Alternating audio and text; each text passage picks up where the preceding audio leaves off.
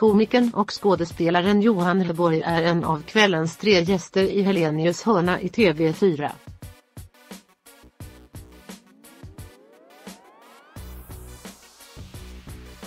Johan Rheborg är aktuell med en ny stand-up show säker på att jag är osäker.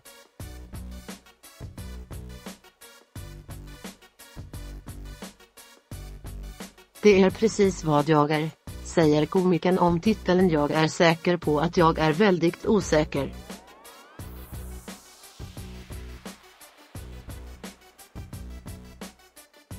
Min standard är som ett stort korthus som när som helst kan rasa ihop.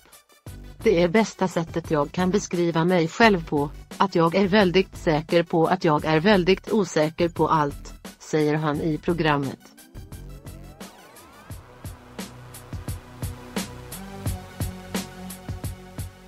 Johan Rheborg har två döttrar, som nu båda har flyttat hemifrån.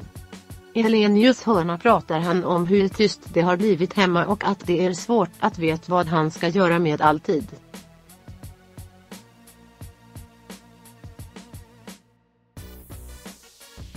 I programmet får han en inspelad hälsning från sin dotter Josefin. Jag vill bara säga att du är en jätte jättebra pappa.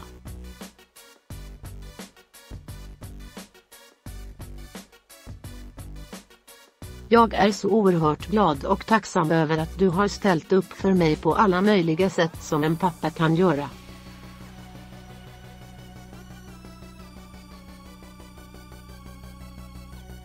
För att du har låtit mig göra och vara precis den jag vill och accepterat mig som jag är.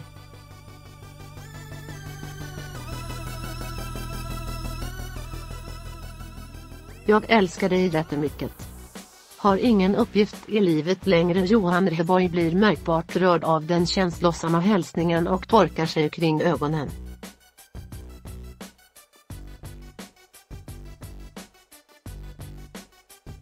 Jag är lite golvad här. Min ambition är att de ska få vara den de vill vara. Och att de ska ta sin rättmätiga plats i samhället.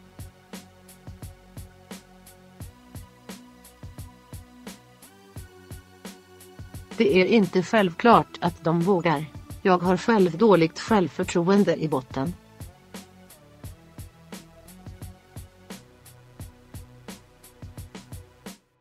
Jag vet inte vad jag ska säga, säger en tagen Johan Rheborg.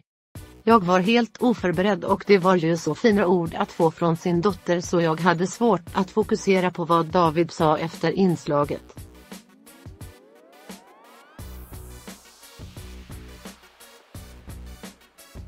Blev såklart väldigt glad och stolt, skriver Johan Rheborg i ett sms till Expressen.